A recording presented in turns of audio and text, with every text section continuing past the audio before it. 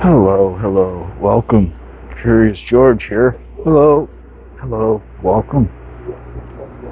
Part basement, part workshop, part laboratory. Lab, lavatory and laboratory. Well, today we are going to answer, maybe not today, we're going to start today, the hottest debated topic on the internet how to clean brass. No scrub household cleaner edition. There's so many little urban myths about cleaning brass.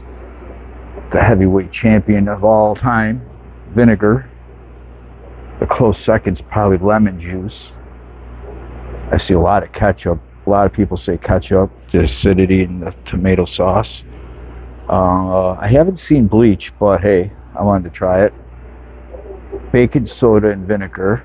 I'm gonna mix baking soda and vinegar. Some hot sauce. And I'm gonna try my own concoction of simple green cleaner and a little air bubbler which I know air, any you had an air bubbler, it'll clean it real good. But I don't know if I get like the tarnish off or whatever. But it'll probably be a couple parts. I'll check it in like a day. I think with ketchup you may be able to be instantaneous. I'm not sure. But I will, I'm willing to let it go for up, you know, a week or so. I got nothing but time on my hands. So, let's see, let's see if we can get a set up here.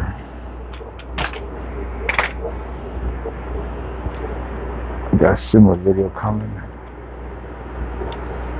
about cloning gel rooting hormone. It's so expensive. People say you can use all this different household stuff like cinnamon, aloe uh, honey. Where are some of the other ones? There's like a bunch. But to buy this stuff, the cloning gel is expensive. It's very expensive rooting hormone cloning gel. I'm gonna do a little test on that. That'll be interesting. So,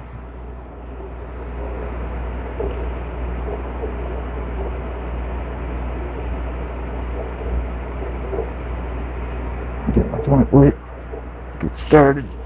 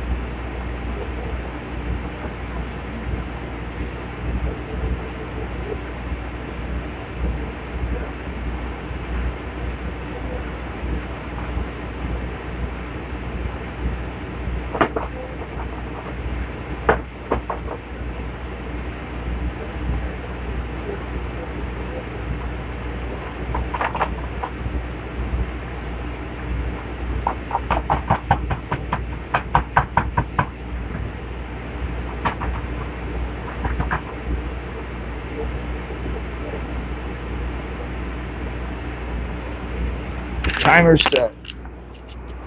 We're not all nuts and bolts around here. Wrenches and wrist pins. The scientific mind needs to know. I need to know these things. I got like a million pieces of brass, so I don't feel like scrubbing by hand. No green scrubbing worked really well. But I've got like a million little fittings. I just don't want to scrub these all by hand. But anyway, we'll see you in a day, and then we'll see you in a week. Thanks for hanging out. Bye bye.